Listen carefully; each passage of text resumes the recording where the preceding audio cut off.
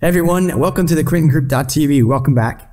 Today we're going to talk about 1031 tax deferred exchanges.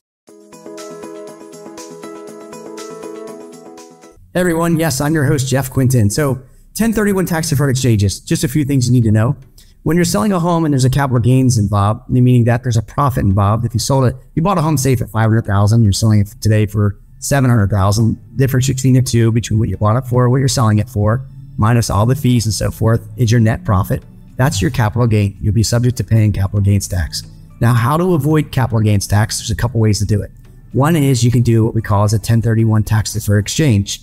The basic rules of 1031 says that you have to sell a property of equal to or greater. To, when you're selling a property, you have to buy another property of equal to or greater than the one you're selling.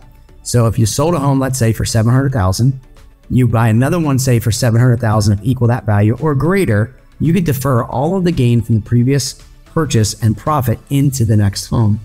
So if you bought a home for 500,000, let's say that you were selling it, say, and netting 700,000, the $200,000 gain, you could you could take the $200,000 gain that you have, which you normally would pay gain, capital gains tax on.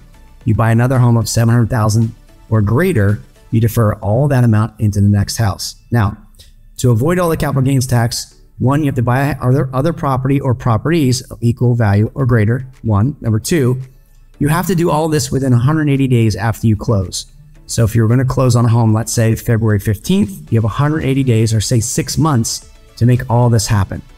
You got to close on the next property within, say, 180 days.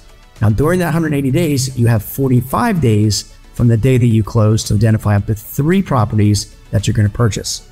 So you've got to close on the property, let's say February 15th, identify three properties within 45 days, call that through, say, March 31st. And then one of those three that you identify, you must close on within 180 days of the day that you closed. So if you do all of that, follow these rules, again, buying another property or properties of equal, equal to, or greater than the one you're selling, you'll be able to take all of the gain that you have, defer it into the next property, right? And do that all within that 180 days. You will not pay any capital gains at all. So if you're thinking about looking for another additional investment property, if you're looking to sell one, defer your gain, whatever it may be, feel free to reach out to me direct or my team at 609 398 5333, or you can email me directly, jeff at thequintingroup.com. Thanks for watching.